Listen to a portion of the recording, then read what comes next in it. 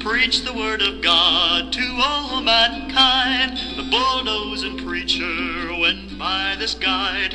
Some may hate, some may fail, and some may even fall. But the biggest majority will hear the gospel call. Now there's people in this world who fight constantly, and heaven knows the prize that all of them shall see. But in the end, they'll all agree unanimously that the bulldozing preacher was sent for you and me. Now Christ was never one who floundered around. He preached the word of God, and oh, what a mighty sound!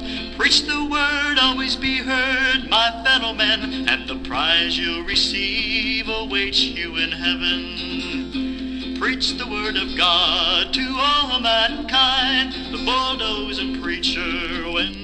this guide. Some may hate, some may fail, and some may even fall, but the biggest majority will hear the gospel call.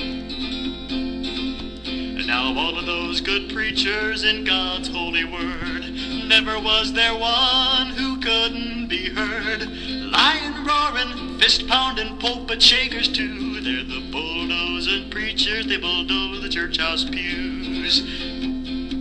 Now if you're one of those Christians on Sunday morn that roosts on the back of a pew and sits there a snoring, well, open your eyes, open your ears, he's after you. He's the bulldozing preacher, he'll your morning pew. Preach the word of God to all mankind. The bulldozing preacher went by this guide. Some may fail, and some may even fall, but the biggest majority will hear the gospel call.